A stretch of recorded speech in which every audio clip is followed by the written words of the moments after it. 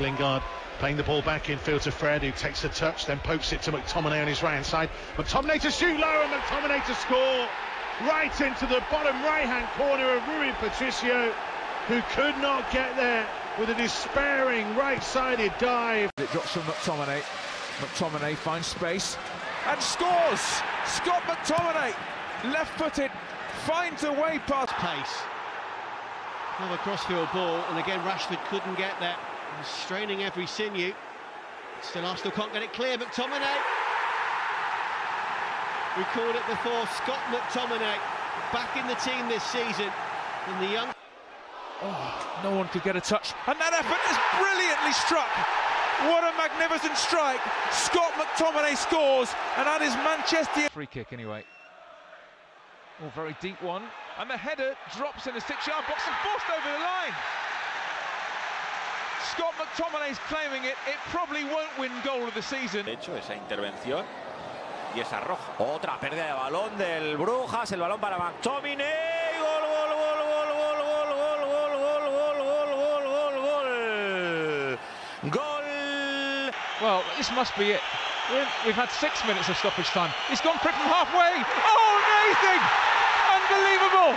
Scott McTominay brings the house down. Clips it in. McTominay is there and scores. United take the lead on the stroke of half time. Wonderful delivery from Juan Mata and Scott McTominay buries. Got a bit of space here. He plays in McTominay. What a drill! Fantastic. Just the second minute of the game. Scott McTominay with a one.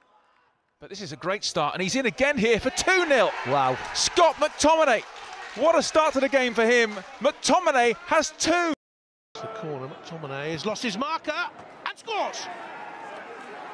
Well, poor defending by Watford. Scott McTominay, captain of Manchester United today.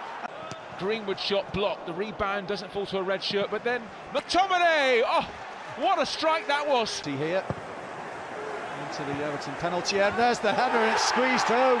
Scott McTominay squeezes it into the. Net. Where's this going to drop? Smashed in by McTominay.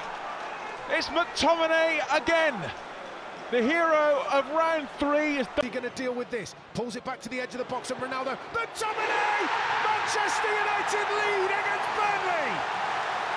Scott McTominay from the edge of the penalty area